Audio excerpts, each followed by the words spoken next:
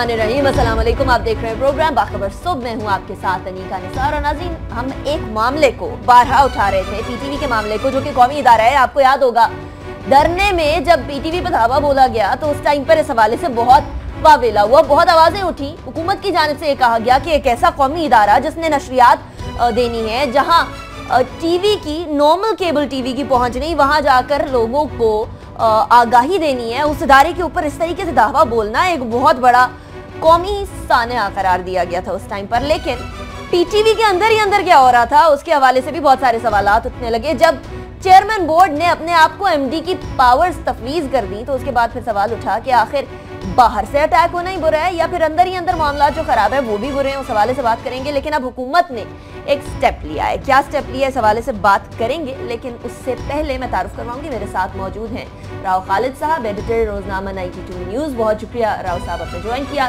सोहेल इकबाल भट्टी साहब हमारे साथ मौजूद है इन्वेस्टिगेटिव जर्नलिस्ट बहुत शुक्रिया सोहेल साहब आपने ज्वाइन किया। राव साहब, आपसे स्टार्ट करते हैं। कुछ दिन से हम इस बारे में बात कर रहे थे कि अच्छा नहीं लगता कि हुकूमत के एक ऐसे इदारे के अंदर जिसने सबको इतलात को, नशरियात से, जो है वो आरास्ता करना है एक एक ऐसी चीज़ जो कि एक नॉर्मल पाकिस्तानी तक भी इंफॉर्मेशन पहुँचाए उसके अंदर इस तरह के मामला हो रहे हो कि no no checks and balance खुद ही पर्चा लिखा, खुद ही चेक कर लिया, मामला ख़त्म।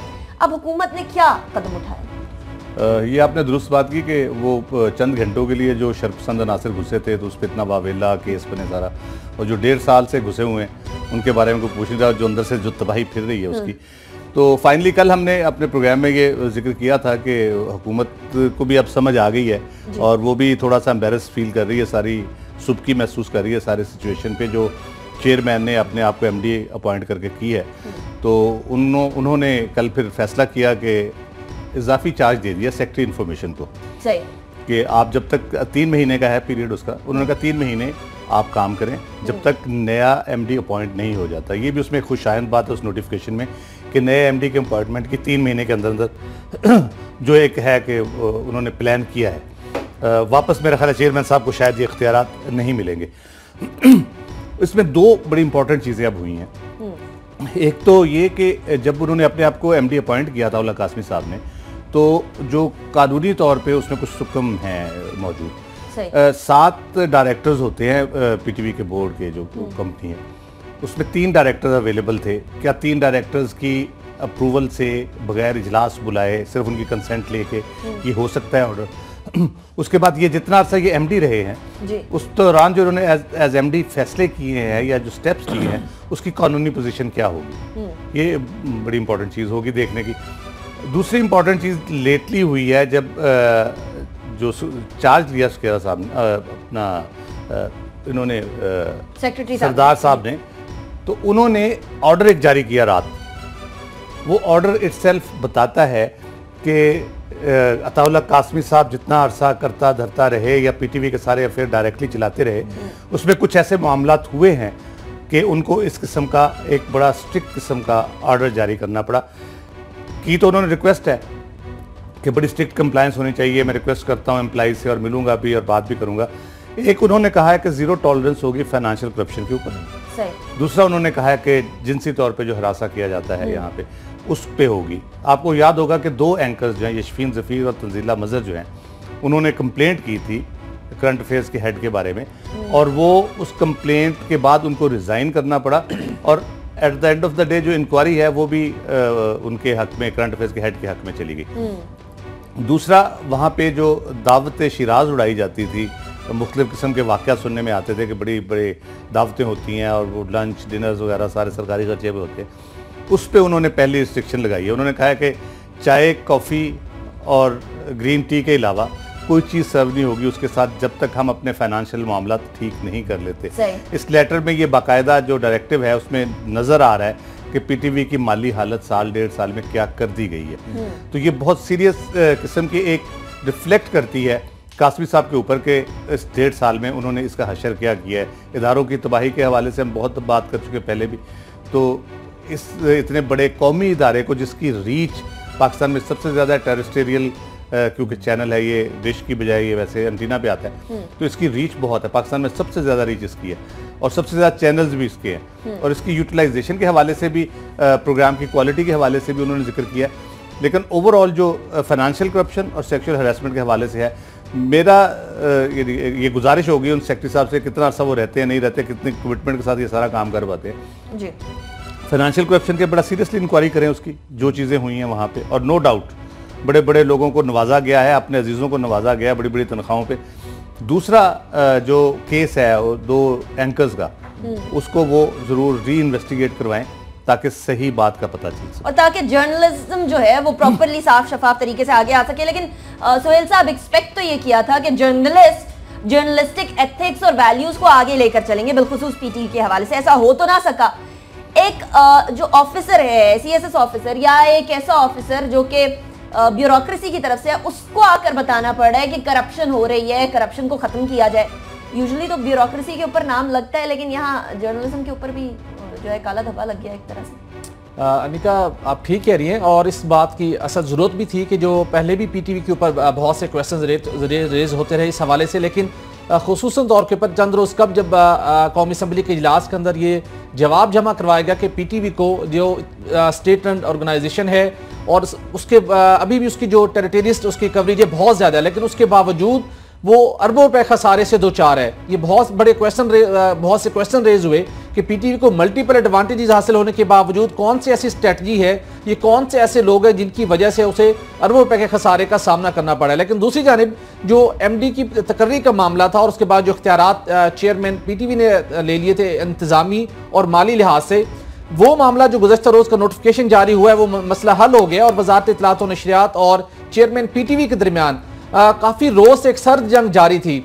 वजारत इतलात और नशियात की जानब से ये कहा जा रहा था कि जब वो कासमी साहब सिर्फ़ चेयरमैन थे तो समरी तैयार कर ली गई थी कि एक्टिंग चार्ज देना है पी टी वी को, एमडी एमडी पीटीवी का सेक्रेटरी को। लेकिन उससे पहले ही एक बड़ी अनप्रेसिडेंट मूव हुई और उन्होंने इख्तियार खुद अपने आप को सौंप दिए।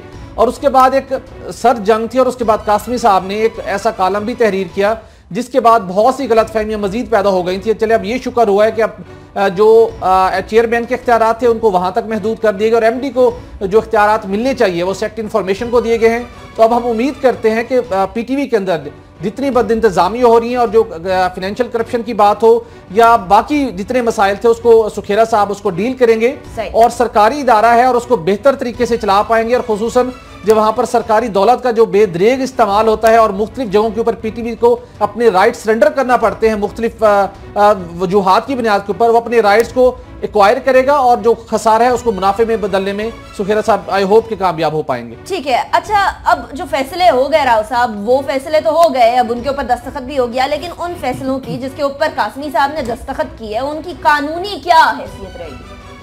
बिल्कुल ये बहुत बड़ा क्वेश्चन भाग है। ये इस सेक्रेटरी साहब को ये भी देखना होगा कि ये जो सारे उनके दौर में अहकाम जारी हुए किस किस्म के अहकाम जारी हुए? क्या कोई ऐसे उसमें अहकाम भी थे जिन्होंने पोटेंशली डैमेज किया फाइनेंशियल उसकी हेल्थ को इदारे की या जिस अपॉइंटमेंट्स की जैसे हमने बात की?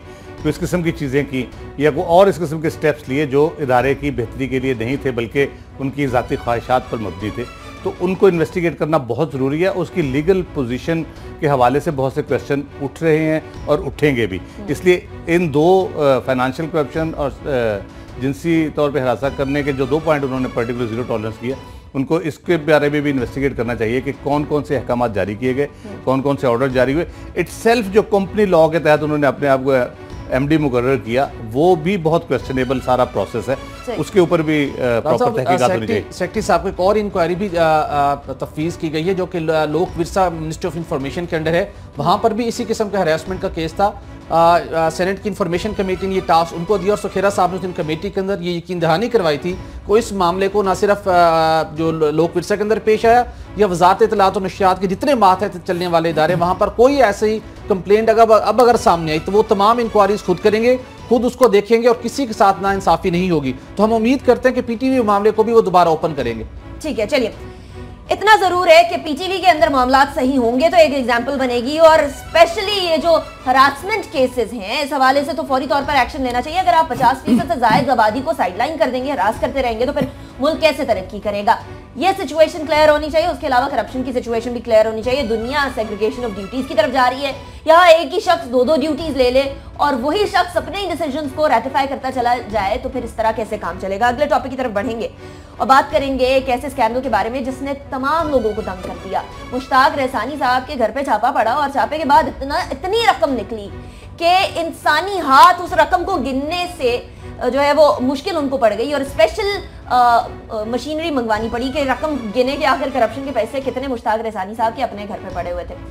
मुश्ताक रहसानी साहब की प्ली बागिन सामने आई, सवालात उठे प्ली बागिन के कानून के ऊपर और उसके बाद फिर अब नई चीज़ हुई है। प्ली बागिन मनसूख कर दी गई है। सोहेल साहब, मुझे सुनाना है एक क्लिप लेकिन उससे पहले मुश्ताक रहसानी साहब की अब की सिचुएशन के बारे में बताइए। निका हमने जैसा कि 15 फरवरी को हमने बताया था कि नैब को पहली मरतबा अपनी तारीख के अंदर जो प्ली बारगेन के जितने भी केसेस मंजूर किए गए वो जब जो चेयरमैन ने मंजूर किए अदालतों से वो एक्सेप्ट हो गया और मुलजमान बरी हो गए। हम्म। लेकिन ये पहला केस था बलुचिस्तान के लोकल फंड्स के अंदर करप्शन का मामला जिसकी चेयरमैन नैब ने हम्म। मुश्ताक रईसानी से अढ़ाई करोड़ अढ़ाई अरब पैकेज प्ली बारगेन की थी लेकिन वो मंजूर ना हो सकी। चलिए अभी इसी क्लिप को चलाते पंद्रह फरवरी को इसी शो में बाखबर सुबह में क्या कहा गया और आज क्या हुआ उसको जरा सुनिए। ये फैसला किया है बल्कि नैब की जानब से मंजूरी दे दी गई है।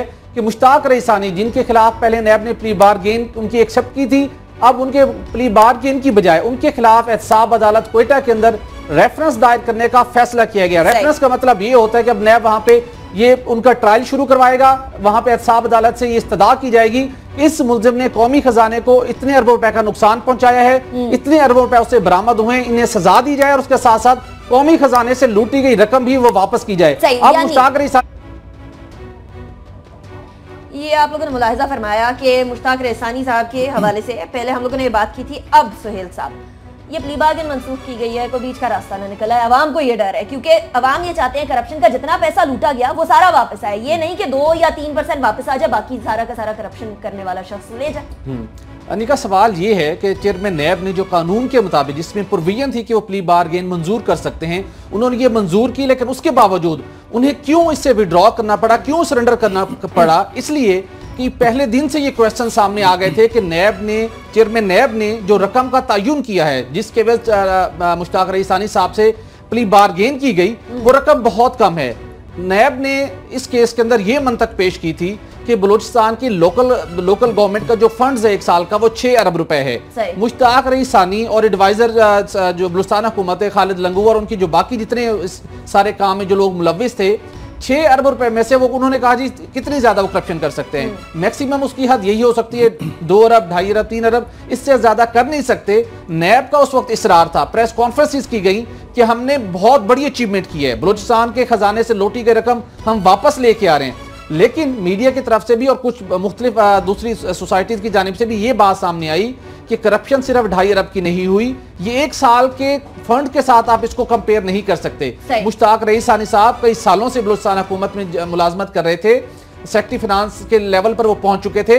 और इस इसका रकम का जो करप्शन का तयन था इब्तदाई तौर पर यह कहा जा रहा था कि ये कोई 25 अरब रुपए के जायद की करप्शन की गई है चूँकि ये लोग बैरून मुल्क मनी लॉन्ड्रिंग के ज़रिए भी रकम भिजवा चुके थे।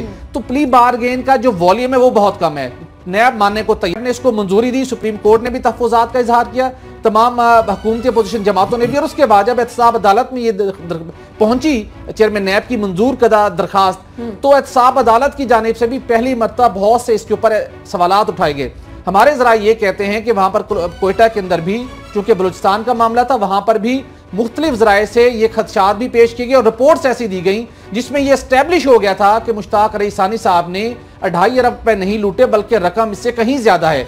यही वजह थी कि अब नैब के पास कोई और ऑप्शन नहीं था। एहसाब अदालत इसको मंजूर करने को तैयार नहीं थी इनको अब वापस लेनी पड़ी। अब क्या होगा? अब नैब ने चूँकि वहाँ पर रेफरेंस दायर किया है और उसके बाद अब प्रॉपर तरीके से एहसाब अदालत उनका ट्रायल होगा एहसाब अदालत में। मुश्ताक रईसानी साहब का खालिद लंगूव है और बाकी पाँच जो दीगर इस केस में गिरफ़्तार मुलजिमान है। उसके बाद अब इस बात का कभी इम्कान है कि एहतसाब अदालत जब फैसला देगी तो शायद रकम ये ढाई अरब के बजाय ज़्यादा रकम कौमी खजाने को बुलिस्तान की हुकूमत को वापस भी मिल सके। और उसके बाद जो मुश्ताक रईसानी साहब और बाकी लोग बरी होने जा रहे थे अब वो बरी नहीं हो पाएँगे। दस से बारह साल उनको सजा भी होगी। अच्छा राव साहब, अब पहले तो ये बात कि प्ली बार्गेन का कानून, प्ली बार्गेन के कानून के बारे में बात की जा रही थी साकलार साहब कहते हैं कि जी सबसे स्ट्रिक्टेस्ट ऑर्डिनेंस जिसके जिसके बारे में बात की गई थी कि जी प्ली बार्गेन अब नैब के चेयरमैन नहीं कर सकेंगे। प्ली बार्गेन एक शख्स ने जब करप्शन की है पैसा लूटा है तो प्ली बार्गेन नाम की चीज़ होनी क्यों चाहिए? कि किसी भी तरीके से चाहे वो अदालत के ज़रिए हो या फिर वो नैब के चेयरमैन के ज़रिए हो वो किसी भी तरीके से अपना अपनी छुट्टी करा ले आराम से अ, बाकी रकम को एंजॉय करे थोड़ी सी रकम दे दे। दूसरा ये कि अब 10 से 12 साल की कैद की सजा की बात की जा रही है। अगर पहले इंस्टेंस के ऊपर कानून स्ट्रिक्टली लागू होता तो कोई शख्स यानी पहला जब कोई इंसिडेंट इस तरह का करप्शन का होता कोई शख्स फिर दूसरी दफ़ा हिम्मत ही ना करता।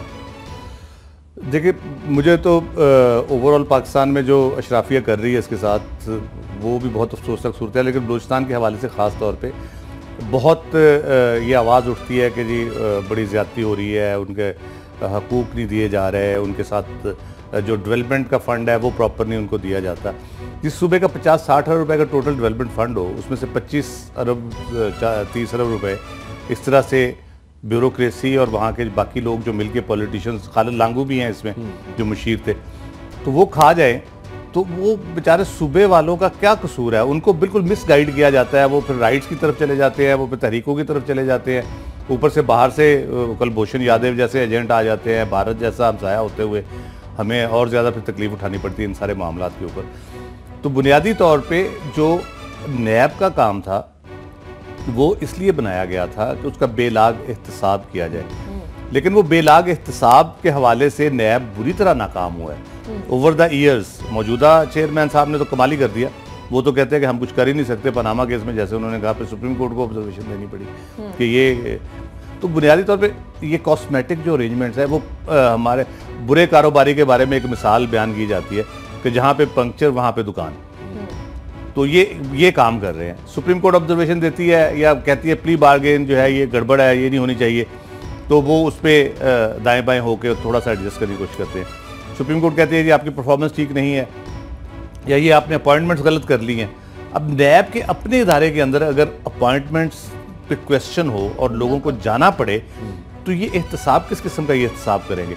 वो सुप्रीम कोर्ट की ऑब्जर्वेशन आती है या वो लोगों को फारग करते हैं वो दाएँ बाएँ करके डीजी चेंज कर दिए कर दिए। और साथ ही इंप्रेशन देने की कोशिश की, की जा रही है कि बहुत अ, कोई अहम किस्म की तब्दीली आने जा रही है नैब के उसके प्रोसेस में।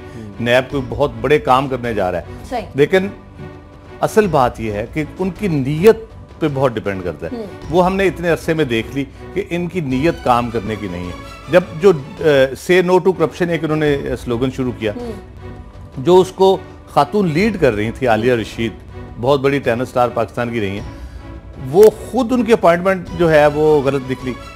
तो ऐसे लोगों को करप्शन के खात्मे के लिए जब आप रखेंगे जो खुद किसी तरीके से मेरिट को वायलेट करके या मैनिपुलेट करके एक जॉब ले लेते हैं तो वो किस तरह से करप्शन का खात्मा करेंगे? जब। फाइनेंशियल करप्शन अपनी जगह पे लेकिन मेरिट ना होना इटसेल्फ बहुत बड़ी करप्शन है। गलत लोग जब अपॉइंट होंगे तो वो करप्शन को कैसे रोकेंगे और इदारे की परफॉर्मेंस को कैसे बेहतर बनाएँगे इस, इस केस के अंदर नैब की जानिब से प्ली बार्गेन की दरखास्त को वापस लेना कि ये स्टैब्लिश करता है कि हम गलती पर थे और माजी के अंदर छह सात सौ अफराद के साथ जो प्ली बार्गेन की गई है उसके ऊपर बहुत बड़ा क्वेश्चन रेज हुआ है कि माजी के अंदर भी इस कानून का किस तरीके से गलत इस्तेमाल किया जाता रहा है। चलिए रेट्रोस्पेक्ट में तो सवाल पैदा होते ही होते हैं लेकिन अभी फ्यूचर यानी मुस्तकबिल भी बड़ा है इस हवाले से, वेग है। समझ नहीं आ रही कि आखिर प्ली बार्गेन आगे चल के होगी नहीं होगी। इस हवाले से भी ज़रूर चीज़ों को सॉल्व करने की ज़रूरत है सिचुएशन को क्लियर करने की ज़रूरत है, लेकिन इतना ज़रूर है कि यह कानून शायद पाकिस्तान के खजाने को फ़ायदा पहुँचाने की बजाय नुकसान ज़्यादा पहुंचाता रहा है। अगले टॉपिक की तरफ़ चलेंगे। और जरा इदारों की बात कर रहे हैं, एक अकाउंटेबिलिटी के इदारे की बात कर रहे हैं तो पंद्रह और इदारों की बात आपको बताते हैं। पंद्रह और इदारे ऐसे हैं जिनके सबराहान अभी नहीं है। सुहेल साहब एक ऐसा मुल्क जहाँ फॉरेन मिनिस्ट्री का सरबराह नहीं है फॉरेन मिनिस्टर नहीं है वहाँ पंद्रह कौमी इदारों वफाकी इदारों के मुस्तकिल सरबराहान की कैसे एक्सपेक्टेशन है? एक्सपेक्टेशन तो हमें करनी चाहिए। इसलिए कि कानून के मुताबिक इदारों गुड गवर्नेंस के लिए और इदारों की बेहतर परफॉर्मेंस के लिए बल्कि सिर्फ़ एक्सपेक्टेशन नहीं बल्कि मुतालबा भी होना चाहिए और ये हुकूमत की ज़िम्मेदारी है जिस मकसद के लिए बैठ के वहाँ पर आपको बिठाया गया है अवामी खिदमत के लिए कि आप वो तमाम वफाकी इदारे कोई भी सरकारी इदारे हो उनके मुस्तकिल शफाफ बुनियादों के ऊपर मेरिट के ऊपर उसका मुस्तकिल हेड हो ताकि वो उस इदारे को उस ऑर्गेनाइजेशन को चलाने के लिए बेहतर तरीके से काम कर सके।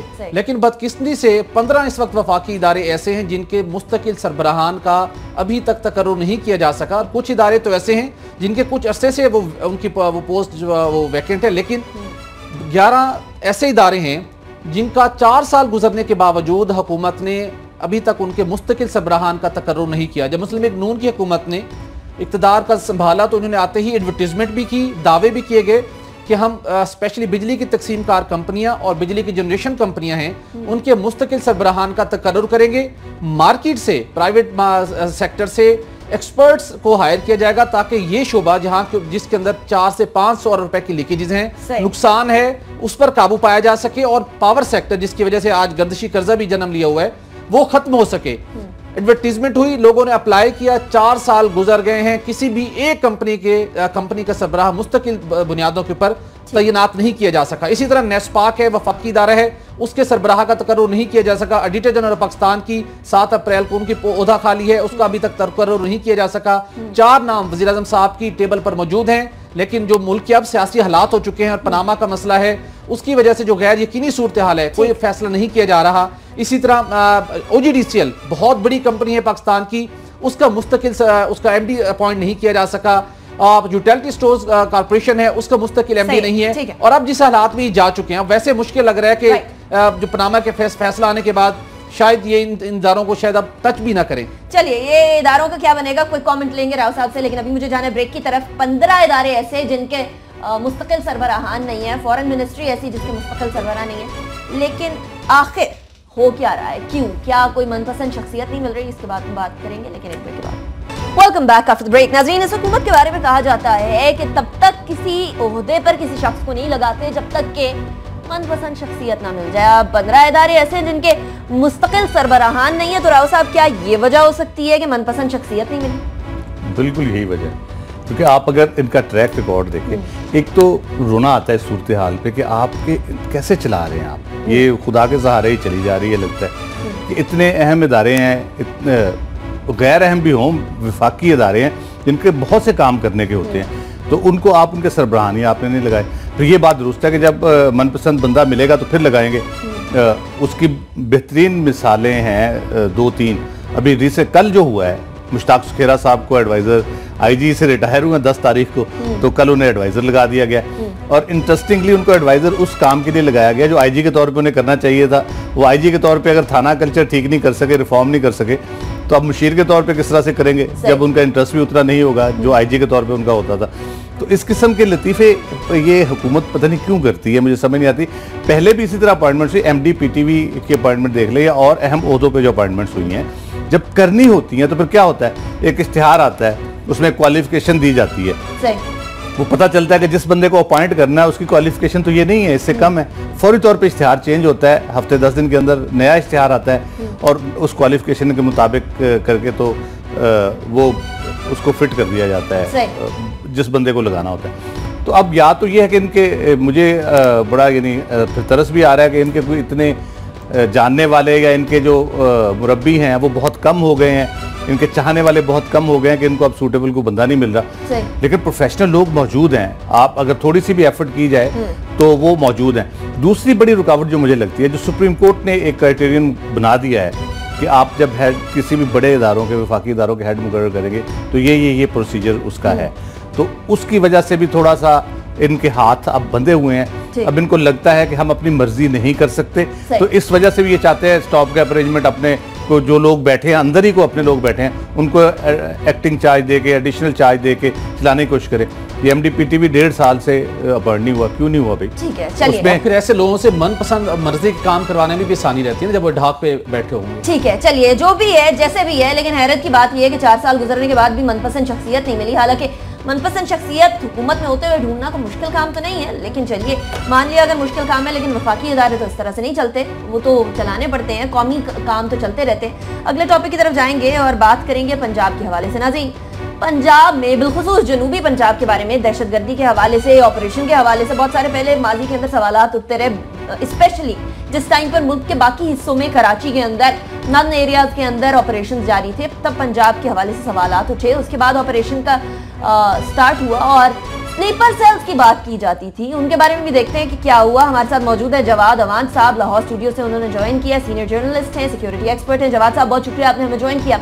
जवाद साहब पंजाब के बारे में सबसे ज़्यादा सवाल आप उठते थे कि दहशतगर्दी के हवाले से बहुत सारे ऐसे गढ़ हैं जनूबी पंजाब के बारे में, क्या हो रहा है वहाँ? देखें स्लीपर सेल जो हैं, ये पाँच छः सात, एक तो पहले मैं आपको बताता चलूँ कि चार, पाँच ये सेक्शंस में ऑपरेट करते हैं। इसमें एक इसका मिलिटेंट विंग होता है, एक इसका फाइनेंशियल विंग होता है इंफॉर्मेशन विंग होता है, इसका लॉजिस्टिक्स विंग होता है, इसका एक सॉरी एक इसका विंग होता है जी मैसेंजर स्लीपर सेल तो इसमें एक चीज़ ये है कि जो जो सबसे इसमें इंपॉर्टेंट है, वो जो जो पहला militant sleeper militant sleeper cell है, वो खुद कुछ बम्बार भी प्रोवाइड करता है। इसी तरह जो फाइनेंशियल स्लीपर सेल है, वो जो फंड्स प्रोवाइड करता है, वो हुंडी के ज़रिए या बाहर से ऐसे अकाउंट्स बनाए जाते हैं, जो ऑलरेडी जो फैसिलिटेटर स्लीपर सेल हैं, वो उसको पैसे जो पहुँचा रहे होते हैं ऑपरेशंस के लिए। तो पंजाब का जहाँ पे आपने ज़िक्र किया तो पंजाब के अंदर ये जो जो ऑपरेशंस हुए हैं ये जो स्लीपर सेल्स आइडेंटिफाई हुए हैं ये सिर्फ़ साउथ में नहीं है। साउथ में ये एंट्रेंच ज़्यादा हैं लेकिन ये नॉर्थ में भी हैं और ये सेंट्रल पंजाब में भी हैं। इनके खिलाफ एक मरहलावार जो है कार्रवाई होगी ऑपरेशन होंगे इनकी लिस्टें जो हैं वो इकट्ठी की जा चुकी हैं। इससे पहले कुछ स्लीपर फैसिलिटेटर जो हैं वो ब्लो भी हुए हैं। इससे पहले भी किए गए हैं तीन चार माह पहले भी कुछ ऑपरेशन हुए हैं साउथ में। लेकिन वो अभी इंटेरोगेशन में और पाकिस्तान प्रोटेक्शन एक्ट के तहत जो है वो जेर तफ्तीश है। अच्छा देखिए बयालीस दहशत गर्दों को और उनका जो नेटवर्क है वो भी पकड़ा गया। जवाब साहब जरा उनके बारे में भी बताइएगा कि एक ऐसा सूबा जो तरक्की के बारे में सबसे ज़्यादा ये बात करते हैं कि सबसे ज़्यादा तरक्की है और बहुत डेवलप्ड है लाहौर को देखे तो लगता है जैसे पेरिस बना रहे हैं। डेफिनेटली शहबाज शरीफ साहब भी ये कह चुके हैं। वहाँ उस सूबे के अंदर ऐसा होना जरा सवाल ज़्यादा उठ जाते हैं। ये जो बयालीस लोगों का जो नेटवर्क है ना ये बयालीस लोग हैं स्पेसिफिकली फ़िरका वाराना दहशत गर्दी में जो मुलवस, जो दो तंजीमें पंजाब की दहशत गर्दी की रूट्स जो हैं, वो फ़िरका वाराना दहशत गर्दी से जुड़ी हुई हैं। इसमें एक लश्कर झंगवी है और दूसरी सिपा मोहम्मद पाकिस्तान है। लश्कर झंगवी के 33 लोग जो हैं, वो पकड़े गए हैं और उनके सिपा मोहम्मद पाकिस्तान के नौ लोग पकड़े गए हैं। जो टोटल टारगेट आइडेंटिफाई हुए थे, इनके वो 60 थे। रिमेनिंग टारगेट्स अभी रहते हैं, उसमें से नौ लश्कर जंगवी के हैं और एक सिपा मोहम्मद का है जबकि सिपा मोहम्मद पाकिस्तान के आठ टारगेट्स मिसिंग है, जिनके बारे में सिक्योरिटी अदारे हमें ये बताते हैं कि वो शायद किसी करीबी हमसाया मुल्क में जो हैं, वो छुपे होंगे। ये लोग जो हैं ऑपरेट करते थे सिर्फ़ पंजाब में नहीं, पंजाब से कुछ एक्टिविटी करके ये सिंध में चले जाते थे। सिंध से एक्टिविटी की बलुचिस्तान में चले गए, क्योंकि इनकी जित जित, ये जो दोनों तंजीमें हैं, इनके मुख्तलिफ़, इनके चैप्टर सिंध सारे सूबों के चैप्टर्स अलग अलग हैं। लेकिन जैसे जैसे ऑपरेशन जो है एग्रेसिव हुए हैं, उसके बाद इनका जैसे जैसे मसल जो है वो ब्रेक हुआ है, इनकी इंडिपेंडेंस टू ऑपरेट ऑपरेशन जो हैं, वो कमज़ोर हुए हैं तो फिर ये कोऑर्डिनेट करके और एक दूसरे की रिसोर्स को यूज़ करके भी वो काम करते रहे हैं। तो इसमें अब देखने वाली चीज़ ये है कि जो लश्कर झंगवी है, वो अलकायदा और दाइश और इस तरह की जितनी तंजीमें इस्लामिक मूवमेंट उज़्बेकिस्तान जैसी तंजीमों के साथ इनके लिंक्स रहे हैं और अलकायदा के लिए इनका कांटेक्ट जो है हरकतुल इंसार के ज़रिए अलकायदा के साथ हुआ करता था। इसी तरह सिपा मोहम्मद पाकिस्तान जो है वो फातमी ब्रिगेड अबूजर ब्रिगेड जो सीरिया में लड़ रहे हैं इस वक्त दो दोनों तरफ़ से लड़ रहे हैं एक तरफ़ से दाइश लड़ रही है एक तरफ़ से फातमियन वगैरह लड़ रहे हैं। आप ऐसे कह सकते हैं हम्म। कि सिपा मोहम्मद जो फातमियन के साथ जो उनका कनेक्शन है फातमियन को अफ़गानिस्तान की हिजबुल्ला कहा जाता है। तो बात तो खासी बड़ी है लेकिन ये है कि खासे ये न्यूट्रलाइज हो गए लेकिन पंजाब अभी तक भी उसमें खासी ऐसी चीज़ें हैं जो अभी हमें ख़तरे के जो आप कहें जो लेवल है उससे अभी हम नीचे नहीं गए लेकिन काम साहब आपसे ये भी जानना चाहेंगे कि जैसे आपने बताया कि स्लीपर सेल्स का पता तो चलाया जा चुका है और जिस तरीके से आपने बताया कि इनकी छह विंग है बहुत खतरनाक इनके विंग है और जिस वक्त ये पंजाब के अंदर पहले ही रद्दुल फसाद ऑपरेशन जारी है तो जब इन स्लीपर सेल का पता चलाया जा चुका है तो कब तक एक्सपेक्टेड है कि इन स्लीपर सेल के खिलाफ भी भरपूर एक्शन शुरू कर दिया जाए? भट्टी साहब, इसमें जो है ना, ये मैंने पहले जैसे आपको बताया मरहला वार है। अब ऑपरेशन ऑपरेशनल एक्टिविटी जो है, वो सिक्योरिटी इदारे अमूमन जो टेंट जो एग्जैक्ट है, वो तो शेयर नहीं करते। वो अपना काम करते रहेंगे। इससे पहले भी मैंने जैसे आपको बताया कि कुछ स्लीपर सेल्स उन्होंने ब्लॉक किए हैं, लेकिन ये एक लंबा प्रोसेस है। इसमें कोई टाइम फ्रेम नहीं है। लेकिन जो उनके टारगेट्स आइडेंटिफाई किए गए हैं, वो तकरीबन कोई, वो भी साठ, सत्तर से ज़्यादा हैं। वो पंजाब में फैले हुए हैं, कुछ के लिंकेजेस जो हैं, सिंध में और बलोचिस्तान तक जाके मिलते हैं। तो हो सकता है कि किसी वक्त भी वो ऑपरेशन जो है शुरू कर दिए जाएँ वो लोग इकट्ठे करते रहेंगे इंटेरोगेशन करते रहेंगे उस इंटेरोगेशन में उनको अगले लिंकेजेस मिलेंगे जिसके ज़रिए वो अगले लोगों तक पहुँचेंगे क्योंकि ये एक खुफिया और सीक्रेट सारा काम होता है। इसमें ये चीज़ें जो हैं वो मीडिया के लाई नहीं जाती लेकिन ये है कि कुछ लोग जो भी इस एरिया में काम करते हैं जितनी इन्फॉर्मेशन होती है चाहिए होती है कि थोड़ी सी फ्लो करे पब्लिक तक ताकि लोगों को पता लगे कि क्या ऑपरेशन हो रहे हैं क्या चीज़ें हो रही हैं। उतनी की इन्फॉर्मेशन जो है वो हम तक आप कहें कि जो की जवाब साहब जो आप आपकी गुफ्तु से मैंने अंदाज़ा लगाया है वो ये है कि ये इंटेलिजेंस बेस्ड ऑपरेशन है। जी जी तो जो पंजाब में एक तो ये बताइएगा ये कितना इफेक्टिवली काम हो रहा है। दूसरी चीज़ ये बताइएगा कि जो एक मुतालबा बार बार किया जाता है कि पंजाब में रेंजर्स को वो इख्तियार दिए जाएँ जो सिंध में दिए गए हैं। तो क्या आप समझते हैं कि जो ये सूरत हाल है, आपकी बड़ी गहरी नज़र है इस पर इसमें ये मुतालबा दुरुस्त है और होने चाहिए? पंजाब में भी रेंजर्स को इस तरह के इख्तियार जी, अपना राव साहब, आपने जो लास्ट पॉइंट बड़ा बड़ा आपका वैलिड पॉइंट था। इसमें हमें सॉरी सिक्योरिटी के जो लोग हैं, वो कहते हैं कि रेंजर्स जो है, उसको वो इख्तियार मिलने चाहिए जो कराची में है। पुलिसिंग के इख्तियार ताकि वो डायरेक्ट रेड कर सकें। और लोगों को खुद वो अपने एक तरीक़ाकार के तहत जो है, अपना जो एक नेटवर्क है, उसके ज़रिए उनको पकड़ सकें इंटेरोगेट कर सकें, इसकी इंतहाई ज़रूरत है। लेकिन मैं आपको बताऊँ कि रेंजर्स को जो मैंडेट है, इस वक्त जो एक अनडिक्लेयर्ड मैंडेट है, वो सरहदी इलाकों का है। पंजाब में यानी डी जी खान, राजनपुर, रहीमियार खान, इधर से अटक दूसरी साइड से मियाँ वाली, यानी जितना बॉर्डरिंग एरिया है बॉर्डरिंग एरिया जितना सरहदी इलाका है, उसके साथ उनके पास मैंडेट है, आप देख रहे हैं। कि हमने जितने ऑपरेशन भी रिपोर्ट किए हैं रेंजर्स के, वो इन्हीं इलाकों में रेंजर्स ने ऑपरेशन किए हैं। कल एक उन्होंने ऑपरेशन किया है सीटीडी के साथ हाफजाबाद में। तो आप देख लेंगे जैसे ही आप नॉर्थ में आए हैं तो साथ सीटीडी जो है उसको इन्वॉल्व कर लिया गया है। लेकिन इसकी ज़रूरत अशद है कि वो इनको डायरेक्ट जो है मैंडेट दिया जाए और वो ताकि डायरेक्टली ऑपरेट कर सकें। दूसरी बात जो आपने ज़िक्र किया था ऑपरेशन की जो टाइप्स हैं बेसिक ऑपरेशन तो जी इंटेलिजेंस बेस्ड ऑपरेशन होता है। इंटेलिजेंस बेस्ड ऑपरेशन में उनका काम जो है इंटेलिजेंस एजेंसीज का किसी भी मुतल कंसर्न इदारे को इन्फॉर्मेशन प्रोवाइड करना है। जिस पे वो अपना ऑपरेशन जो है लॉन्च करेंगे। लेकिन एक ऑपरेशन जिसको कहा जाता है जी intelligence led operation intelligence led operation में वो लोग खुद भी साथ शामिल होते हैं और ख़ुद टारगेट आइडेंटिफाई करते हैं उस रेड का खुद भी हिस्सा होते हैं। इंटेलिजेंस लेड ऑपरेशन यूजली वो लोग खुद ही किया करते हैं। यानी फ़ौज की इंटेलिजेंस एजेंसी जो हैं वो खुद वो ऑपरेशंस करती हैं और उनके अपने स्पेशल यूनिट्स जो हैं उसमें ऑपरेट करते हैं। ये केस होता है जी हाई वैल्यू टारगेट्स का। ठीक। जवाद अमान साहब, बहुत शुक्रिया, आपने हमें ज्वाइन किया। और पंजाब की जरा सूरत हाल बताई, क्योंकि पंजाब के बारे में हमसे भी अक्सर लोग पूछते रहते हैं कि बाकी जगह पर तो ठीक है, वहाँ क्या हो रहा है? और वहाँ के जो दहशतगर्द स्लीपर सेल्स के बारे में सवाल उठते हैं, उनके जवाब आप हमें दे। तो ये जवाब आज हमारे शो के तवस्त से आप लोगों को, आप हमारे नाजरीन को मिल गया। अगले टॉपिक की तरफ़ जाएँगे। और बात करते हैं जरा वही लोड शेडिंग के बारे में बात करेंगे एनर्जी जनरेशन के बारे में बात करेंगे, ख्वाजा आसर साहब की वजारत के बारे में बात करेंगे, जिस पर पहले ही इतने सवाल आते हैं। कि और सवाल पे सवाल उठाना एक पलंदे को बड़ा करने वाली बात है, लेकिन अब नई चीज़ सामने आई है। नाजरीन पावर जनरेशन के लिए हमारे अपने मंसूबे तो लगने ही लगने हैं। हमारे अपने अपने कई मंसूबे जो अभी तक प्रॉपरली काम नहीं कर पा रहे। उस तरीके से जैसे दावा किया गया था, अब नई चीज़ सामने आई है। हमारे एक दोस्त मुल्क की जानब से एक ऐसा पावर जनरेशन यूनिट दिया गया है जो पता नहीं पावर जनरेट करेगा या सिर्फ़ और सिर्फ़ फ्यूल खाएगा। सोहेल साहब यूएई की तरफ़ से तोहफे में मिली है कोई चीज़। ये तोहफा हमारे लिए बेहतर होगा या ये भी कौमी खजाने में भारी होगा निका ये कहा जाता है पुराने वक्तों में बादशाह जब किसी का इम्तिहान लेना चाहते थे ना या कोई उससे बदला लेना होता था उसको हाथी तोहफे में दे दिया जाता था कि जाएँ इसकी परवरिश करें इसकी देखभाल करें। तो उसे फिर उस जो बंदा उसका टेक केयर करता था उसे लग पता जाता था। हम्म। मुझे लगता है कि ये शायद पाकिस्तान को मुतहद अरब अमारात के हमारा दोस्त मुल्क है शायद ये हाथी एक दिया गया कि आप इसकी परवरिश कीजिए।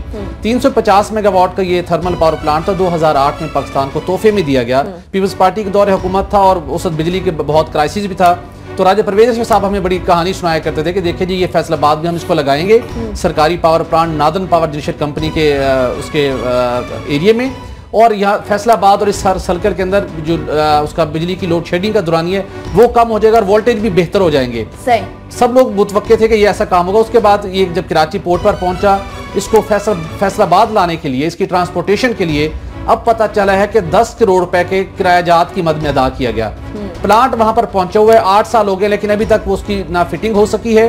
वो ज़मीन ज़मीन पर पड़ा हुआ है और अब पता चला है कि जो उसकी एफिशिएंसी फैक्टर है हम्म। जो उसकी बिजली के फ्यूल लाग, फ्यूल लागत है वो इतनी कम है कि इतनी ज़्यादा है फ्यूल की खपत बहुत ज़्यादा है कि उसको चलाना इकोनॉमिकल नहीं है। सही। जो हमारे पावर प्लांट 1970 में लगे थे उनके मुकाबले में भी ये दोहरी महँगी बिजली पैदा करेगा। हम्म। अब ऑडिट ने भी ऑब्जर्वेशन दिए कि जब इस प्लांट में ऑपरेशनल नहीं हो सकता था इसकी एफिशिएंसी फैक्टर बहुत कम था तो इसके ऊपर 10 करोड़ रुपए खर्च क्यों किए गए? सरकारी रकम के इसको वहाँ से ट्रांसपोर्ट ट्रांसपोर्ट करके यहाँ लाया गया। और अब आप ये कहा जा रहा है कि जो इंजीनियर्स हैं कि पाकिस्तान के अंदर ये फिजिबल नहीं है उसके बाद इसके काफ़ी सारे जो इसके अहम इसके आलात थे वो वहाँ से गायब हो चुके हैं। प्लांट को जंग लग रहा है वहाँ पड़ा हुआ है। अब वजारत पानी बिजली सख्त परेशान है कि इसका क्या किया जाए। अब एक तजवीज सामने आई है वहाँ से उस ग्रुप की जाने से कि चूँकि ये प्लांट ऑपरेशनल नहीं हो सकता तो इसको बतौर स्क्रैप बेच दिया जाए। यानी कि इसका सरिया बन सकता है बहुत अच्छे तरीके के साथ इसको बेच दिया जाए। अब मुझे खुद ये लगता है कि चूँकि ये चल नहीं सकता और इसे अगर ये चलाया गया इससे बिजली की बहुत महँगी पैदा होगी। दस करोड़ रुपए इसकी ट्रांसपोर्टेशन पे खर्च हो चुके हैं। तो मेरे ख्याल में अल्टीमेटली इसको स्क्रैप पर ही बेचना पड़ेगा और किसी ये आ, आ, स्टील मिल के अंदर जाके इसका सरिया या कुछ और मवाद अच्छा इसका इसका बनेगा। बैकग्राउंड जरा राव साहब के पास है। राव साहब बैकग्राउंड क्या है इसका? ये कहाँ से तोहफे में क्यों आया? कैसे ले लिया हमने? एक तो भट्टी साहब के लिए इन्वेस्टिगेट करने की बात ये होगी कि इस स्क्रैप का सरिया कहाँ बनेगा अगर ये फैसला कर ही लिया गया है। तो ये बुनियादी तौर पे बारह साल हो गए हैं इसके प्रोसेस होते हुए सारे अमर ये शौकत अज़ीज़ साहब ने एक बड़ा ज़ोर शोर से बताया था कि हमें कि यूएई बड़ा हमारा ब्रदर मुल्क हमें गिफ्ट कर रहा है एक प्लांट तो वो फिर 2008 में जैसे भट्टी साहब ने बताया कि 2008 में फिर ये आया तो राजा अख्तर साहब उस वक्त थे मिनिस्टर वाटर एंड पावर। तो उन्होंने कोशिश की इसको कुछ चलाने वलाने की तो वो फिर कुछ उसका, उस वक्त भी कोई नहीं चल सका काम। 2009 में फिर आसिफ जरदारी साहब जब यूएई गवर्नमेंट ने एहतजाज किया कि हम आपको इतनी सखावत कर रहे हैं आपके लिए तो आप हमें लिफ्ट ही नहीं करा रहे, बिल्कुल इस प्लांट के हवाले से। फिर वो गए वहाँ पे 2009 में आसिफ जरदारी साहब ने एक एमओयू साइन किया, उनकी वाटर एंड पावर विंग जो है, अबू धाबी जो मिनिस्ट्री कह लें आप। उसके बाद थोड़े से जोश जज्बा शुरू हुआ। फिर ये तय होना बाकी था कि ये कहाँ लगाया जाए। जब अबू धाबी गवर्नमेंट से सारी नेगोशिएशंस हुई शेखुपुरा और फैसलाबाद दो उनको पॉइंट्स दिए गए कि ये दो हैं। शेखुपुरा को उन्होंने रिजेक्ट कर दिया उन्होंने कहा ये नहीं ठीक आप फैसलाबाद में इसको लगाएँ। फिर फैसलाबाद उसको मूव किया गया। पैसे उसके जो जिसकी बात हम कर रहे हैं दस करोड़ रुपए उस पर खर्च हुए सारी उसकी मूवमेंट पे। तो फैसलाबाद में 2011 में सिविल वर्क्स इसका शुरू हुआ। तो सिविल वर्क शुरू हुआ उसके बाद पीपल्स पार्टी गवर्नमेंट जिस किस्म के अजाबों से गुजरी मेमो गेट और सारा वो शुरू हो गए मसाइल। तो मेरा ख्याल इसकी तरफ़ किसी ने फिर तवज्जो ही नहीं दी। या शायद ये हमारे यहाँ ये भी होता है कि जो सरकार के लिए प्रॉफिटेबल ना हो या सरकार में काम करने वालों के लिए जो मंसूबे प्रॉफिटेबल ना हो जिसमें सीधे लफ्जों में कमीशन ना बन रहा हो तो वो उसको ज़रा कम ही लिफ्ट कराई जाती है। तीसरी इंपॉर्टेंट रीज़न जो भट्टी साहब ने पॉइंट आउट किया जी। इसकी जो ऑपरेशनल कास्ट है जो आप कर- इसको अगर चला भी लें तो उसकी ऑपरेशनल कास्ट इतनी ज़्यादा है ये पुराना प्लांट है बेसिकली वो जब फारग कर चुके थे उन्होंने हमारे हैंड ओवर किया। इसकी ऑपरेशनल कास्ट बहुत ज़्यादा है। तो ये फिजिबल किसी सूरत नहीं है अगर आप इसको चला भी लें कर भी लें तो ये एक और नंदीपुर आपके लिए बन जाएगा। सही। तो इसलिए इसको अब ज़ाहिर है उसका फिर मेरा ख्याल है सरिया ही बनेगा अल्टीमेटली। और भट्टी साहब को मैं गुजारिश करूँगा नज़र ज़रूर रखें सरिया कौन बनाता है काम बहुत ज़्यादा हो रहे हैं मेट्रो बन रही है फ्लाईओवर्स बन रहे हैं तो वो सरिया कहीं ना कहीं यूज़ हो जाएगा ना। यहाँ पे तो प्लांट अब कहीं यूज़ नहीं हो रहा। ठीक है चलिए अगले टॉपिक की तरफ़ चलते हैं। इकोनॉमी की बात कर रहे हैं इकोनॉमी का ये हाल हो रहा है। अगर आपने इसको वर्केबल भी बनाना है। इस वाले पावर प्लांट को तो चौदह अरब रुपए लगाने पड़ेंगे। चौदह अरब रुपए लगाकर महँगी ही बिजली लगानी है। तो इससे अच्छा किसी ऐसे प्रोजेक्ट की तरफ़ जाया जाए जो थोड़ी सस्ती बिजली दे दे आवाम को। अगले टॉपिक की तरफ़ जाएँगे और सस्ते की बात करें तो सस्ते चीज़ें होने के लिए मीशत की बेहतरी ज़रूरी है। और मीशत की बेहतरी के लिए आपकी बरामदात भी ज़रूरी है। दरामदाद तो हमारी बहुत है, लेकिन बरामदाद की तरफ़ हम लोग इतना ध्यान नहीं दे रहे। ये बात हम नहीं, ये बात बाहर के बैन अवी इदारे भी बता रहे। उसके बाद फिर तजारती खसारे के भी बड़ी बड़ी दावे किए जाते हैं। सोहेल साहब वाकई में ये वादे सच्चे हैं या झूठे हैं? नहीं, क्या वादे तो सच्चे अभी तक तो नहीं लग रहे कि ये वादे सच्चे हैं। मुस्तकबिल में जाकर अगर हम, हमने कुछ गवर्नेंस बेहतर कर ली और इकोनॉमिक रिफॉर्म्स जिसके ऊपर काम हम कर रहे थे अगर वो ट्रू स्पिरिट में जारी रही तो शायद हमें कुछ इसके फ्रूट्स मिल जाएँ। लेकिन इस वक्त सूरत हाल ये है कि मुल्क की तारीख में रिकॉर्ड सतह पर पहुँच चुका है। तजारती खजारा तेईस अरब उनतालीस करोड़ डॉलर की सतह के ऊपर। रवा माली साल के नौ माह के अंदर यानी जुलाई 2016 से मार्च 2017 तक जो हमारी बरामदात थी वो उनमें कमी हुई है तीन फ़ीसद। और उनका जो वॉल्यूम रिकॉर्ड किया गया है वो पंद्रह अरब बारह करोड़ डॉलर था जबकि जो दरामदात थी वो उन्नीस फ़ीसद उसमें इजाफा हुआ है। अड़तीस अरब इक्यावन करोड़ डॉलर तक पहुँच गई। हैं। वजारत तजारत और वजारत खजाना की जानब से ये मौकफ इख्तियार किया जाता है कि पावर प्लांट्स की मशीनरी इंपोर्ट हुई है और सीपेक के हवाले से इंपोर्ट में इजाफा हुआ यही वजह कि डिफरेंस बढ़ रहा है। लेकिन उसके साथ साथ आलमी मालियाती इदारे भी इस बात की तरफ़ पॉइंट आउट कर चुके हैं कि इम्पोर्ट बढ़ रही हैं ये दुरुस्त बात है। लेकिन उन इंपोर्ट्स बढ़ने के बावजूद जो हमारे यहाँ चूँकि रिफॉर्म्स नहीं हो सकी जो उसके फ्रूट्स मिलने थे वो नहीं मिल पा रहे। मुलाजमत मुलाजमतों में इजाफा नहीं हो पा रहा उसके साथ साथ लोगों की इनकम में इजाफा नहीं हो पा रहा। लॉन्ग टर्म शायद सीपेक की वजह से इसके फ़ायदे मिले, लेकिन ये जो खसारा सामने आया, अगर हमने अपनी एक्सपोर्ट के ऊपर तवज्जो दी होती एक्सपोर्ट बढ़ाते तो खसारा इस हद तक ना होता। और आगे ये एक्सपेक्ट किया जा रहा है कि जून तक ये जो खसारा है, ये तकरीबन तेईस अरब डॉलर जो इस वक्त है इसके अंदर दस अरब डॉलर मजीद इसमें इजाफा हो सकता है। बड़ी अलार्मिंग सिचुएशन होगी। अब इस ये सारा जो तिजारती खसारा डेवलप हो रहा है अल्टीमेट करेगा क्या?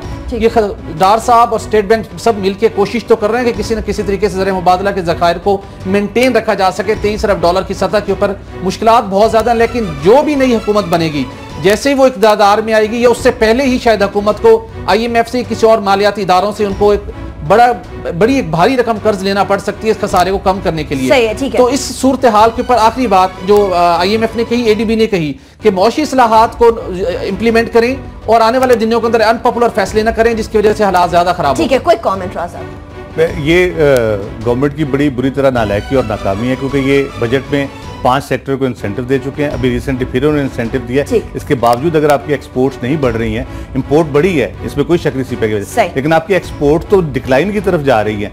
उसको आपको टैकल करने की ज़रूरत है। आपने बिजली दे दी उनको टैरिफ रेट आपने कम कर दिए तो उसके बावजूद अगर आपकी एक्सपोर्ट्स नहीं बढ़ रही तो ये तो सीधी सीधी हुकूमत की डाला है कि हुकूमत को इस पर तवज्जो देने की ज़रूरत है। और एडीबी की रिपोर्ट का आपने रेफरेंस दिया। सीपैक में सबसे बड़ा प्रॉब्लम यही आएगा आपका। आप, आप जब एक्सपोर्ट मैच नहीं करेंगे तो सीपैक का एडवांटेज ही नहीं आप ले सकेंगे उस चलिए राव साहब बहुत शुक्रिया सोहेल साहब बहुत शुक्रिया लेकिन इतना ज़रूर है कि अगर कौमी मीशत को आगे लेकर जाना तो फिर एक्सपोर्ट की तरफ़ भी ध्यान देना होगा। हम रॉ चीज़ें तो भेज देते हैं अगर हम प्रॉपरली उसको रिफाइन करके भेजें बाहर तो फिर हम लोगों को उसका जरा मुबादला ज़्यादा आएगा बजाय ये कि हम कर्जे ले लेकर अपने फॉरेन रिजर्व्स को भरे। हमारे आज के शो से इतना हमें फीडबैक ज़रूर दीजिएगा। बाखबर सुब के नाम से फेसबुक ट्विटर पर मौजूद है। अपना बहुत ख्याल रखिए। पाकिस्तान और पाकिस्तानियों के लिए दुआ गो रही है अल्लाह हाफिज नासिर।